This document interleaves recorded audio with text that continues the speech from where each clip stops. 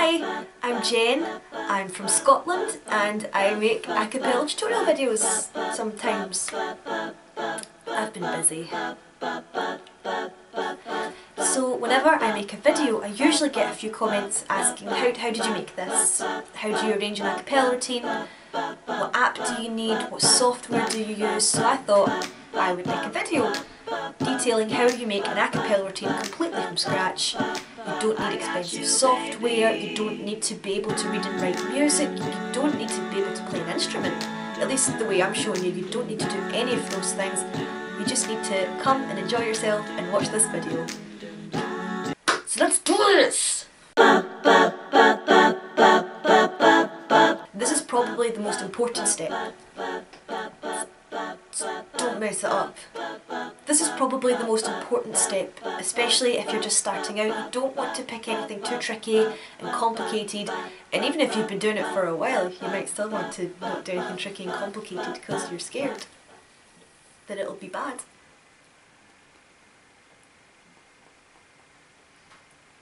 Not me, just just some people. So I'd suggest picking a song where the verse has the exact same chord structure as the chorus.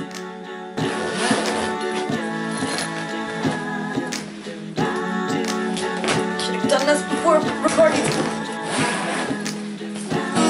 It's not in tune. I'm doing so well. Oh, think Sweet Home Alabama. Chord 1, chord 2, chord 3. These are the chords for the introduction. And for the verse. And for the chorus. For the instrumental. And for the end. Oh! All the snow just fell off my roof. Everything is fine. I picked such a good day to film this. Uh, the song I'm going to do today is Cheap Thrills by Sia. It's a four chord song. I'm gonna die. So the song we're going to do today is Cheap Thrills by Sia.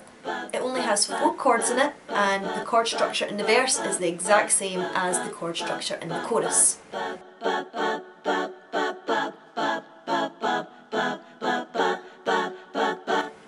If you don't read music or play an instrument, you might be wondering at this point, how on earth am I supposed to know what the chords are to Cheap Thrills by Sia? And that's where the internet comes in. Here we are on Google. I've looked up Cheap Thrills C chords and I've found some on Ultimate Guitar F sharp minor, D, A, E. Let's try that, let's see if that's right. Fantastic. Uh, so now I'm going to open GarageBand, or, or GarageBand, on my iPad. This is also available on iPhone and Android has a million versions of this. When we open up GarageBand, we're going to create a new song. And the first thing we want to do when we create our new song is open up the Smart Piano. Once we get here, we want to click on the wrench and go to Edit Chords and change them to those ones F sharp minor, D, A, E. Those are our chords. Let's record our chords. So we've created a track where we play those four chords. I'm going to click on this brick wall looking thing and we have this green bar that contains everything we've just played. Click on it, go to edit, and you have these little green things. These are the notes in your chord. So if we click on them, there's your F sharp minor notes, D, A, once we get it right, and E. did it! And we're going to use these notes in our a cappella song. So we need to make a new track, clicking on this plus button. And we need to go along to audio recorder.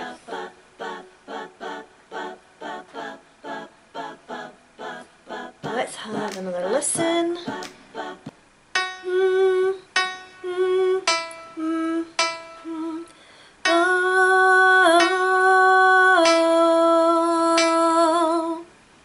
Okay, it's to be one of our lines. So let's put these headphones in. Oh.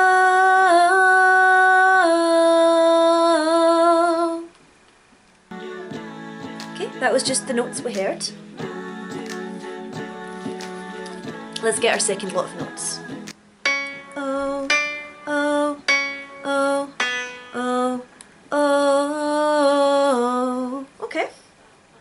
Add another audio track. Oh.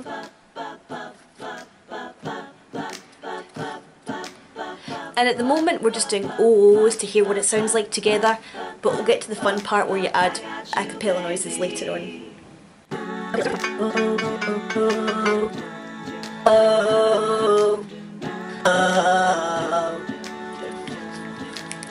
So let's hear what these four sound like together, see if we're happy with how it sounds.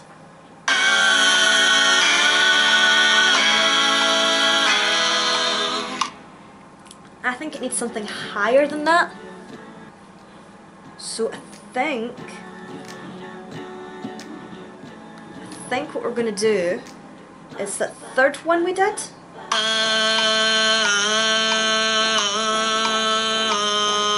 Yeah, that third one we did that sounds lovely. I'm going to do the same one but an octave higher. So sort of, uh, it's going to be, uh, same thing, just higher. Uh, new track.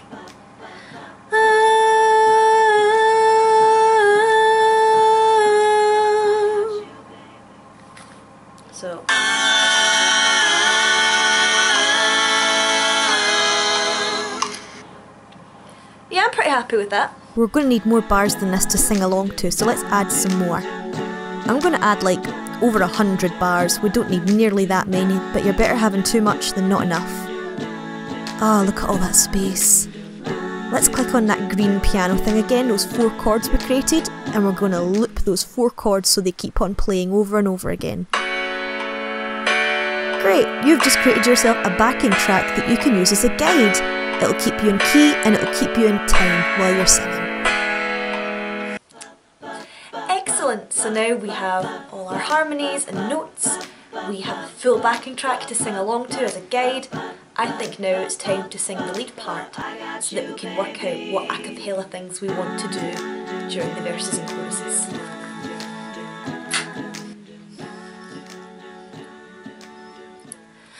Come on, come on, turn the radio on. It's Friday night and I won't be long. Gotta do my hair, put my makeup on. It's Friday night and I won't be long. Done. Now we need to work out what a cappella parts we're going to sing under the lead. And I think for the introduction and the verse, I want to do some babas. This is just trial and error, you're just going to try things and see what you like. As long as you have your notes, you really can't go wrong. Even if you just want to do those ooh ooh oohs through the whole song, go for it, it'll sound really nice. But if you want to try something different, I'm going to try some babas.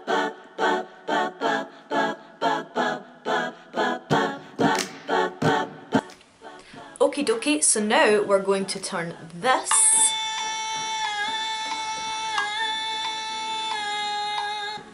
into a ba ba ba ba ba ba ba ba ba ba ba ba. Same notes, just a different mouth sound and rhythm. And we're going to do this for the introduction, and this is going to be the verse up until the very, very end when the lead sings, I ain't got cash, I ain't got cash, I got you, baby. We're going to go,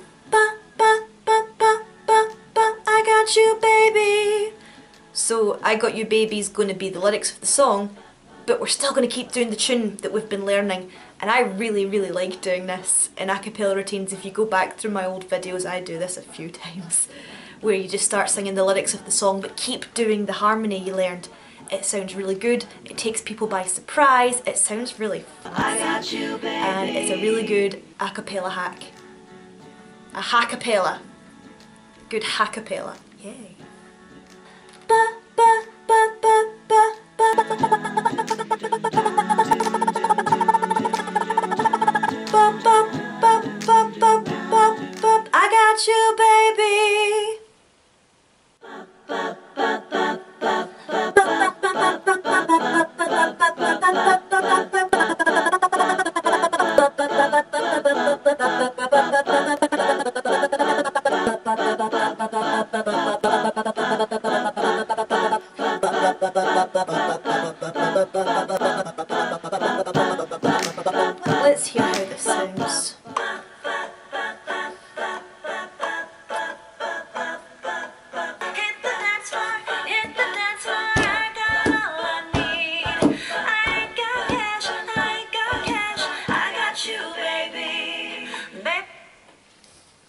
Some percussion.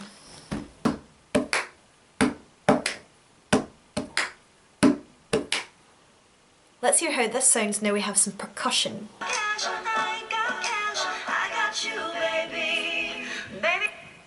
like that. Let's work out what we're going to do for our chorus. Hmm. Now, I think for the chorus, what I would like is for the top three parts to do the la la la las that you hear at the end of the song, and for the lower two parts to do a dun dun, because I love a dun dun. I'm going to try it, see how it sounds, and if I like it, I'll keep it. La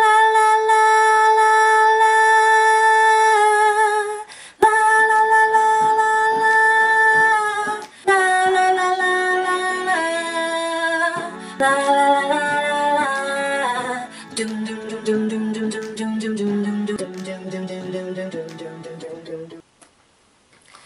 hear how that sounds.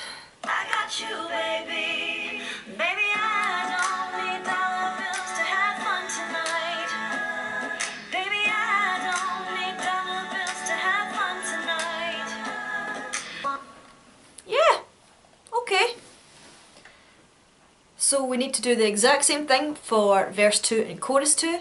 I'm going to do that and I'll be right back. As long as I keep dancing.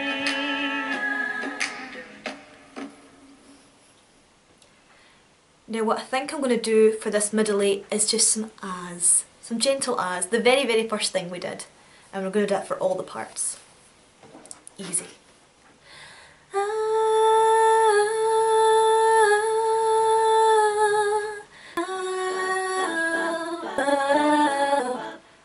Now we're going to add the very end, the la la las, and we're almost done. Almost. La la la la la la. Okay, this is the very very last part. You're just going to shout I love cheap thrills a whole bunch. Here we go. I love cheap thrills. And then we're going to do it again. I love cheap thrills. I love cheap thrills. I love cheap thrills. This is so much funnier now that you know that I'm Scottish. Yeah,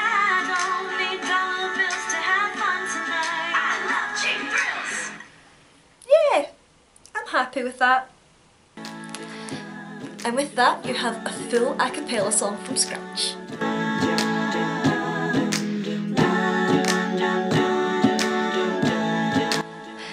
And now we're going to travel the very long, far distance to my filming wall.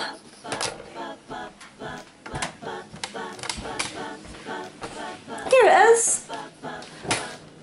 Whew. Hello! Welcome to the recording wall. All we need to do now is lip sync to what we've just recorded. And we need to do this for all the parts, so we need to do this like what, seven times? It takes a while. We'll fast forward.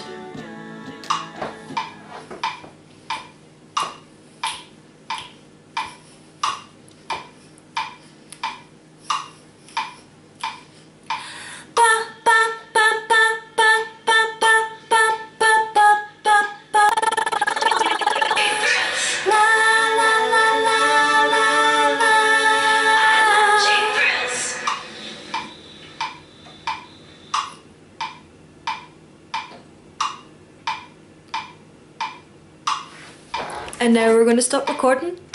Part two.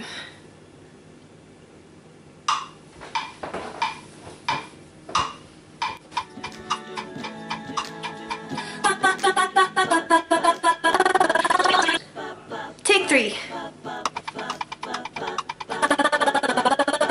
Take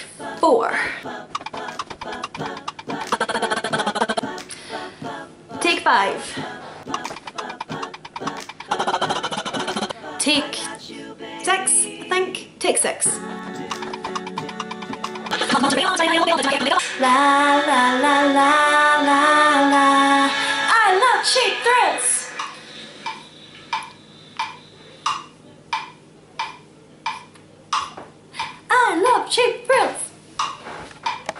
This is Adobe Premiere Elements. This is what I use to edit videos. This is not a free program. If you want a free program, I would recommend VSDC Player, which allows you to do the multi-panel videos like this.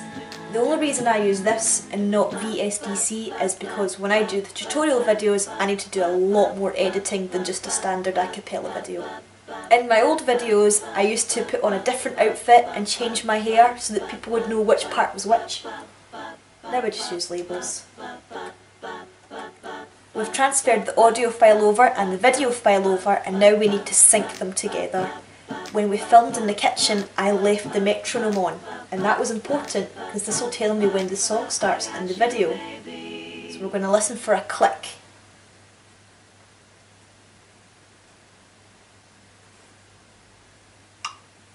Hear that? Nothing? Click. That's when our track starts. We're going to cut anything before this.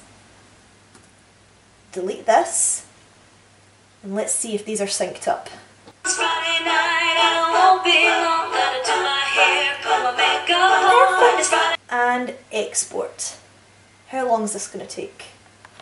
Let's see.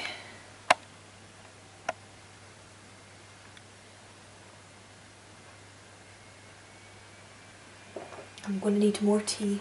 And with that, you are ready to upload your a cappella song to YouTube so others can enjoy it too. Oh man, what am I going to write in the description? Oh, I'm really bad at this. Oh, not that. But I'll change it later, it's fine. There you go! You just created an a cappella song from scratch, you made a video, you put it on YouTube. You've enjoyed this video, please check out my other ones. I do lots and lots of different tutorials. And let me know what kind of content you'd like to see in the future. Thanks so much. Bye!